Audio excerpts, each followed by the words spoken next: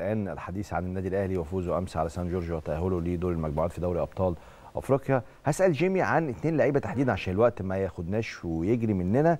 هساله على محمد مجدي قفشة وإمام عاشور. اثنين تألقوا جدا في مباراة الأمس. طيب هروح لك الأول للعيب بالنسبة لي اللي التطور بتاعه بقى واضح جدا.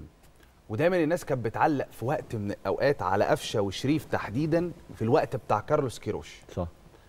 وليه إيه الربط اللي عاملينه؟ يخص قفشة. كارلوس كيروش بكولر هو حاجة تخص الاثنين إن كيروش وطبعا ده لا يقلل من كيروش نظرا لضيق الوقت كمدير فني المنتخب مش لنادي ما قدرش يطلع من قفشة الحاجات والمهام المكلف بها لعيب مركز 8 في 4 3 3 لأن كيروش كان بيلعب 4 3 3 كولر بيلعب 4 3 3 فنيجي نبص كمثال قفشة كانت إيه مشاكله مع كيروش والتطور الملحوظ جدا اللي عمله كولر وعمله قفشة خلال المرحلة دي. الناس كلها تتكلم على الفاول الناس كلها تتكلم على الأسيستات الناس كلها تتكلم على دايما لما لعيب بيسجل النجاعة الهجومية خاصة لو هو لعيب بتاع بتاع النص الأمامي. لا أنا مشكلتي مش هنا خالص ولا التطور بالنسبة لي هنا خالص. كانت مشكلة قفشة مع كيروش إنه ما بيعملش الواجبات الدفاعية إنه ما بيرتدش ما بيعملش off lining ما بيقفلش زوايا التمرير. كل المهام المطلوبة من لعيب مركز 8 مش مركز 10 كان بيعمل الواجبات الهجومية عادي. ودلوقتي بيعملها عادي. هو لعيب كواليتي بتاعته جيدة فيما يخص الجزء الهجومي. التطور اللي بقى موجود عند الراجل فين؟ قرايته للملعب. قطع آه، زوا... آه، غلق زوايا التمرير. قطع الخطوط بشكل جيد. إنه قادر ينزل في العمق قوي كلاعب مركز 8 مش 10 مش طول الوقت متعلق فوق. الحرية اللي مديها له مارسيل كولر طبقا للحالة اللي عليها قفشة دلوقتي. فتعالى نبتدي الحالات عشان الوقت بيجري مننا. أيوة. ونبتدي بقفشة مع كيروش. قبل ما نجيب الحالات بتاعه ماتش سان جورج واجيب لك قفشة كانت حالته عاملة إزاي فيما يتعلق بكل مهام مركز 8 ما عدا ما عدا المهام الهجومية. لا هات في file اللي مكتوب عليه قفشة مع كيروش. قبل ما نبتدي الحالات آه، ماشي. آه، قبل ما نبتدي دي عشان نمشي دول بالترتيب. قفشة مع كيروش الأول. قفشة مع كيروش الأول. آه. قبل ما نبتدي نلعب قبل ما نبتدي. نلعب. بص يا كريم. هنا قفشة بيلعب بيلعب هو من ساعة ما جه كيروش. كيروش بيلعب 4 3 3 ما غيرش.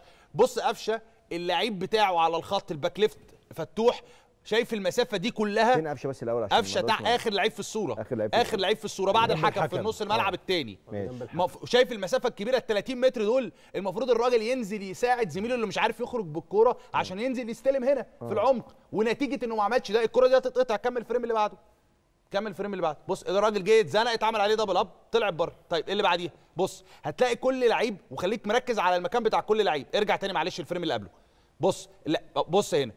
طبيعي مرموش هينزل تحت علشان ينزل يمسك ينزل يدافع. مرموش ده اللي هو بيلعب إيه يا كريم بيلعب forward.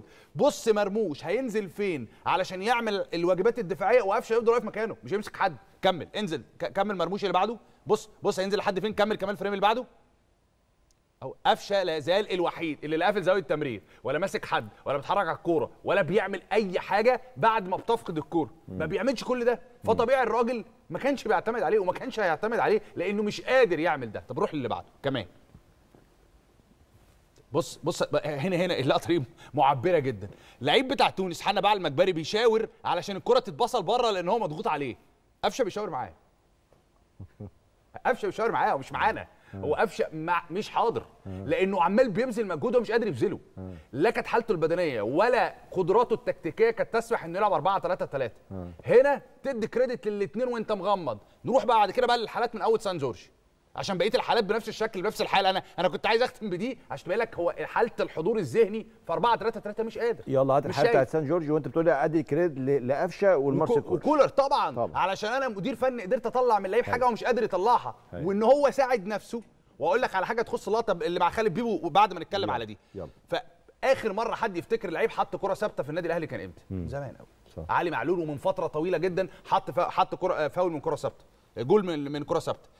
فانا بالنسبة لي رجوع قفشه وانه يسجل وانه يسجل بالشكل ده والاهلي بيعاني اضاف شوف بقى غير التكتيك خالص اضاف حل جديد لمارسيل كولر. كان عنده مشكله دايما الكرات اللي بتيجي على يسار منطقه الجزاء لازم يلعبها في الغالب لعيب ايمن. كل اللعيبه بتلعب برجل يمين ما حدش قادر إنه يسجل. ابتدى يحاول مع رضا سليم لأنه لسه جاي الراجل وقفشه اضاف له حل جديد. هايل. طيب روح على اللي بعده ال frame اللي بعده. يلا. نعدي frame فر- ال frame بتاع الجول كرة طبعا ممتازة جدا. ودي بالنسبة لي هي هي, هي, هي اللقطه بالنسبة لي طريفة أكتر منها أكتر منها لقطة فنية عشان تعليق قفشة بتاع أنا مش خايف من, من, اللي جاي أنا خايف من اللي بعد كده. دي بالنسبة لي قفشة. إيه، يمكن اتقابلنا معاه كريم في وإحنا وإحنا في المغرب. لا هو واضح إن هو مصمم. أنا عايز أرجع. صح. أنا عايز أرجع. هات لي بقى اللي بعديها على طول اللي مع خالد بيبو. عشان أقول لك على حاجة خالد بيبو قبلها بثلاث أيام كان قاعد مع محمد مجدي قفشة قال له الراجل آه، آه، مركز معاك والراجل عايزك وهيستخدمك وهيبتدي تاخد دقايق أكتر بكتير من الفترات اللي فاتت وشايف إن أنت حالتك البدنية والفنية ممتازة وهت... وهت... وهتنزل تلعب وهتسجل والأمور هتبقى كويسة. عشان كده راح أول واحد راح له كان خالد بيبو. يمكن ده سر اللقطة ناس كتير اتسألت طب هو ما راحش ليه الكولر؟ ما راحش ليه لحد من الجهاز؟ خالد بيبو لسه جاي أول امبارح يعني. فدي كانت لقطة مهمة جدا جدا جدا لقفشه نفسيا انه راح لخالد بيبو قال له إن الراجل واثق فيك وإحنا واثقين فيك ولا وأنت ليك دور مش عشان الأساسيين في التوقيت الحالي مروان وديانج وإمام يبقى أنت مش هتلعب خالص هتلعب وهتكسبنا وهتبتدي تاخد دقايق كتير الماتشات. اللي جاية. اللي بعده لسه في قفشة عايزين نخش على امام عاشور آه، آه، يعني. همشي همشي قفشة سريعا يلا. بص يا كريم أنا هشاور لك على شوية حاجات في السريع وهنمشي الفريمات بسرعة. يلا. ال frame ده بص قفشة موجود فين؟ على دايرة ال center هو اللي هيطلع الكرة one pass هو عامل ال scan one pass من العمق ويروح حاطط الكرة لإمام عاشور. الكرة دي إمام عاشور يحطها بعد كده هتروح انفراد. قفشة موجود فين؟ موجود في العمق تحت خالص. قفشة موجود فين بعديها؟ بثواني. موجود فين؟ على ال end line ناحية اليمين. هو اللي هيحط الكرة دي بالعرض اللي هتكمل بعد كده ب cross. كمل بقى ال frame اللي بعده. كمل. بص يا كريم الكرة اللي بعديها. قفشة هيحط الكرة دي pass بانفراد. اللي بعده من العمق. اللي بعده قفشة هنا فين؟ ناحية الشمال. جاي من ال wing left هيخش يعمل 1 2 مع كهربا. اللي كهربا هي- هيتعمل آه، آه، هيحصل له إعاقة فيها وهياخد ركلة جزاء. اللي بعده اللي بعده. قفشه تاني. دي بدايه الكوره دي بدايه الكوره وأنا حبيت أجيب الكوره دي تحديدا. دي بدايه الكوره اللي هيسجلها قفشه. بص التطور الكبير اللي عند قفشه والحركيه والوعي. أنا كنت جايب لك لقطه في ماتش تونس. الراجل بيشاور مش معانا بيشاور مع لعيبه تونس. بص الحضور الحضور الذهني والراجل حاضر قد إيه؟ بص واقف هنا على الخط هيحط الكرة لبره. الكرة دي هتتعمل cross هتتعمل cross هترجع تاني ناحية الشمال لكريم الدبيس اللي عمل ماتش ممتاز جدا وطمن الأهلي على مركز ال back left بعد علي معلول. بص يا كريم الراجل اللي كان على ال end line بص قفشة أنا جايب لك هنا ال frame ده. بص قفشة فين؟ هيخش يكمل تاني كمل كمل. دخول الجناح جوه ال 18 الراجل بيسجلها. مش فارق معايا الجون قد ما فارق معايا التحركات والتواجد في كل حتة في الملعب. ال frame اللي بعده؟ ال frame كمل ال frame اللي بعده كمان. كمل.